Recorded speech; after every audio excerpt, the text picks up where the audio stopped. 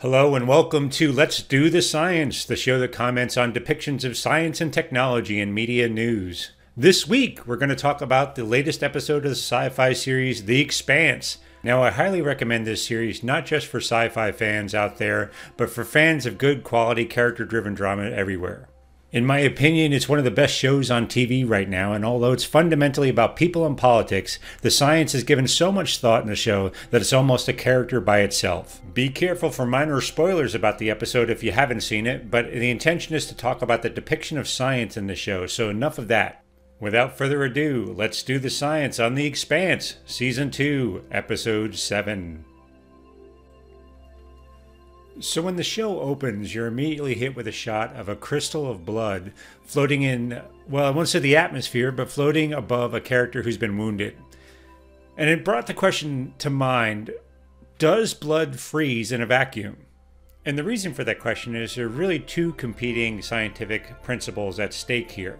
The first is that at very low pressures, liquids tend to boil easier. So they, uh, at, in a vacuum, water will boil away almost completely. And blood is about 92% water, but it's a mixture of other things like plasma and cells and other biomatter. So the other competing bit about that is what is thermal radiation in space. And we know that in space, actually, things cool off much slower than we would anticipate. Movies are famous for sort of giving the impression that as soon as you're exposed to the vacuum, you freeze instantly, but that's actually not accurate. In space, you do radiate thermal energy through uh, infrared radiation, but there's no way to transfer your heat to some other media like you would in air or water, where the heat from your body might go out into the air temperature, or in water, you lose heat 20 times faster because the thermal thermal conductivity of water is 20 times higher than it is in air. In space, you don't have any of those factors. So it seems that it's a bit of a question as to whether blood would boil or away or would it freeze before it gets a chance to boil. Now, there's been some debate on this on physics forums and a few papers written on it, but we know that, again, thermal radiation is very slow to dissipate in a vacuum because there's nothing to transfer the energy to. And people have done some sort of basic calculations to, to try to figure out what would it take for the human body to completely freeze in a vacuum. And some of the early cal calculations are somewhere around 18 hours or so, although that's not exact because it depends on a lot of factors like whether there's sunlight or whether there's another heat source or whether it's close to the body and a lot of things like that. So it's up in the air. But I first want to say it's definitely feasible, but it's questionable. Uh, there's a lot of videos around bo- liquids both boiling and freezing in a vacuum at the same time, which is really incredible to watch. I suggest you go out on YouTube and watch a few of those video- videos. They're very interesting. I think what would probably happen is uh, if the droplets of blood coming out because uh, if you're watching the show there's a sort of a stream a spray of blood coming out from the uh, suits of these wounded marines that are on the moon of ganymede a moon of jupiter I'll talk about that more in a future episode. But essentially, what's going on is it's spraying into fine droplets. And the question is would these small, tiny droplets radiate enough heat that they would that they would freeze before they evaporated or, or they evaporate first? I think it's likely you're going to get a little bit of both. The very, very fine little particles, they're going to freeze into these crystals and they might even adhere because of static electricity more than gravity to the people around them or the land around it. And you're going to get a, uh, a lot of that blood is going to boil away immediately into gas, and you're going to get some residue left on the armor. So I think it's very likely, and this is a great, very good catch by the showrunners on this. The next shot shows that character receiving an injection through their bodysuit, something that modern spacesuits cannot do. You can't puncture a spacesuit in the vacuum of space. The, the in person inside would die, obviously. So somehow in the future, these spacesuits have a metamaterial or something that allows them to self-seal. That would be an incredibly important technological development for future spacesuits. People need to live and work out in space, and that would absolutely be necessary for people to survive out there quick shot of a smartphone of the future. It's made of some sort of crystal or polymer material that's transparent, so transparent electronics seem to be very integrated into the future. Also, by the placement of thumbs on either side of the device, you can sort of see that it has some sort of holographic or image projection out into the air on the side. Very interesting feature that could be uh, easily imaginable in the future. Another thing I sort of love about this shot is you can see in the upper left hand corner, battery life is still a problem in the future, uh, and it's about halfway charged, although hopefully batteries last a little bit longer than they do today. Another quick shot of a Martian warship in space. Now, something to note is the shape of the ship itself, at that boxy shape that's sort of hexagonal. That's a, there's a reason behind that. They've established that direct fire weapons are very much a part of future warfare. And again, I hope we never find that out. But if we do, field of fire and sort of fire arc on these weapons are going to be extremely important. The shape of that ship allows two sides of the ship to be able to hit any direction at once, which would be incredibly important. Many studies have shown that sort of an egg shape or a hexagonal shape would be highly efficient for getting weapons on target in space and highly important to future warfare. Here's a shot of a belter with a burn scar around his neck. This is a common injury for people who work long hours in space. The, the suits, the EVA suits that they use, tend to heat up and they are prone to scarring and burning the necks of the people in them. That's due to several factors. Probably there's some social issues around sort of low cost equipment and poor quality equipment, also wear and tear in equipment. But a really big problem with space exposure is buildup of heat. I mentioned earlier that radiating heat, that freezing is a slow process because there's nothing to transfer the heat to. You just have to radiate it out through uh, through thermal uh, infrared infrared radiation. Heat buildup is a very real problem in space, however, because with nothing to radiate the heat out to, it just builds up in whatever material is receiving it. So, incoming sunlight, even the body temperature of a person inside the suit would build up over time. And cooling astronauts is a very big problem with NASA right now. It would continue to be a problem in the future, and you would get people injured and very severely in some cases because they wouldn't be able to exit the suit. So, heat buildup will be a very real problem for anyone living and working in space. Later on in the episode, we see an interrogation scene where the interrogator takes a pill to heighten their senses and their focus to serve as a sort of human lie detector. They can detect the facial expression changes, they can detect changes in the hand motion, and they can determine if the person is lying. The implications are that humans are still much better at this than AI or computers in the future. There's a small beat here that I really love between these two characters laughing about the realities of living in space and they're talking about being constipated, which would be a bit of a danger in the future. You're in low gravity, you're in low pressure environments, you're likely to have tissue swelling and some other issues. So people would have to suffer with those small minor inconveniences quite often. There's a scene later during recall of some Martians moving across the surface of the planet Ganymede that I originally thought they got wrong, but actually they got very right, and I was impressed with the research there. Ganymede is the ninth largest object in the known solar system, and I say known actually because we have early indicators that there is what they call Planet 9 quite a ways out there past the Kuiper Belt that is 10 times the mass of the Earth. And we haven't observed it yet, but we have some direct evidence of that through the gravitational movements of objects in the outer part of the solar system. So if we ever find that, uh, it will demote Ganymede to the 10th largest object in the solar system. But for now, it sits firmly at the ninth. It lacks density. So while it's bigger than Mercury, it has much less uh, gravity, and it actually has less gravity than the moon itself. So when I first saw this scene and the Marines running across the surface, I thought, well, they should be sort of bouncing like we see astronauts in footage of the moonwalk.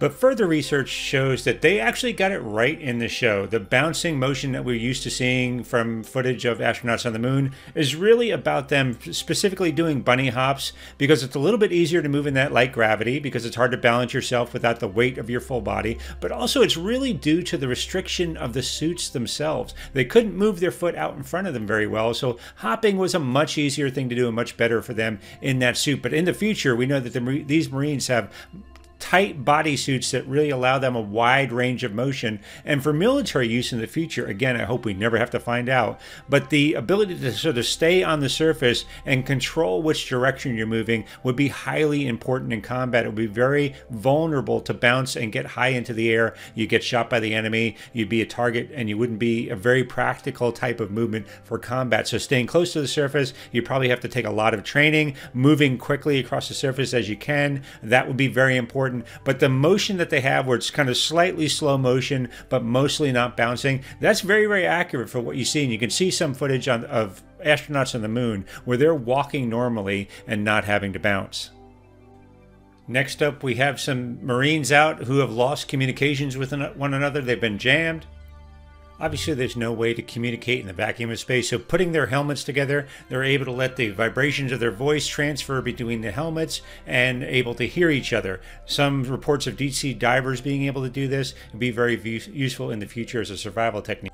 A great shot of the surface of Ganymede. Ganymede's composition is about 50-50 silica rock and water ice, so it would be very shiny, very high albedo, uh, but also be very dirty, so sort of the dirty snowball that we sort of think about uh, about comets with a little bit more rock involved. Here's a shot of a holographic heads-up display used in the future. And I was actually laughing a little bit because uh, similar to the VR headsets of today, it's still quite bulky. And similar to sets, to sets of today, it also has a large wire that has to come out the back and still attach people to the back. So it looks like, at least in, the in this future, that technology has not advanced, at least on the connectivity. Certainly the display is very advanced though, because it is a holographic display. Here's a shot of a ship leaving Tycho Station. Now, that ring you see below it is constantly rotating, so it is providing gravity to the people inside, but that also means that ships attached to it, when they release, should fall away from the structure at about the speed of, let's say, dropping a cup off of a building. It's possible that the ship is providing some thrust from its cone. I don't see any there, and I don't see any thrusters firing. That doesn't mean it can't, but for the most part, we would expect ships to drop away at about uh, 9.8 meters meters per, per second, assuming that uh, there's one gravity at that uh, stage of the ring, and we expect it to fall away quickly and not sort of hover above it like it does. Another interesting event in the series is another ship undocks. It quickly turns around and sort of shoots off, chasing after another ship. And I wondered that the ship turned very quickly, and I think that's necessary for narrative of the story. So this is not a complaint. No one wants to see a slow turning ship. But I wanted to kind of figure out what would the force be on the inhabitants of the ship, especially on the bridge. So some quick math here. The calculation necessary to figure out the g-force from a centrifuge is the constant 1.12 times 10 to the negative fifth times the number of RPM squared times the number of centimeters. So taking that equation, I wanted to apply it to some numbers for the Rocinante here. Some very industrious fans did some calculations on the ship. They estimated, I think, a length of the Rocinante about 57 meters. And if you knocked off, let's say, generously 17 meters for the cone and some of the instrumentation up front and approximate the crew size, that puts it about a, a habitable zone of about 40 meters, let's say. So based on the, if the spin is at the center point of that, of the ship, we'll say that the radius is about 20 meters from the spin point of the ship up to where the crew is sitting in the bridge. So plugging those numbers into this calculation really quickly, we get about 30. I'm estimating that there's a the it turns 180 degrees or so in about one second. I'm guessing that, uh, and 20 meters is converts to about 2,000 centimeters. So given that calculations, that results in a g-force of about 20 G's, and that's in the outward direction uh, for the spin there. So they would be thrown towards the ceiling at about 20 G's. That's pretty hefty. Uh, that is not what they're experiencing in the show, but it's no problem. It's for narrative purposes, and it's not a complaint at all. It's still wonderful. Um, incidentally, though, humans would be able to survive for a short period of time that 20 G's, uh, especially if they were prone. Now, they would be thrown against the straps as the Rocinante is configured in the show. Um, in the book, they have these sort of gimbaled acceleration couches that would handle that much better. But um, obviously, I don't think you see that, and that's not what we're dealing with. But just if you were to understand the in the real world that those people would experience about 20 G's. And I'd love for somebody to check my calculations on that. That's a rough estimate, by the way, but I think it's it's quite considerable. Um, for show purposes, you don't want to see that. No one wants to see the ship on dock and take a minute to turn around and go after uh, the the people it has to do in a tense situation. That's totally untenable for a show, so completely excusable. But it, I thought it was interesting to calculate the actual numbers uh, in play there. All right, so that's as much fun as I can have this week. That is it for Let's Do the Science for The Expanse Season 2, Episode 7. I hope you enjoyed this episode. If you did, go ahead and leave a like or subscribe to this channel for future videos. I'll be putting out about one a week around on Monday. So thank you much so much for, for viewing. I hope you'll subscribe. If you have a comment, I hope you'll leave it in the comment section for this video. If you like the video, go ahead and leave a like. That really helps me a lot in terms of understanding what the content of the show and how that appeal should be and how that appeals to the audience. So this is my premiere episode. Thank you so much for dropping by. I appreciate you taking the time to view to the end. If you've gotten all the way to the end of this video, go ahead and leave the hashtag uh, the expanse in the comments and I'll know you got to this to the end of this video. I really appreciate it. Thanks so much for watching and I will see you next week.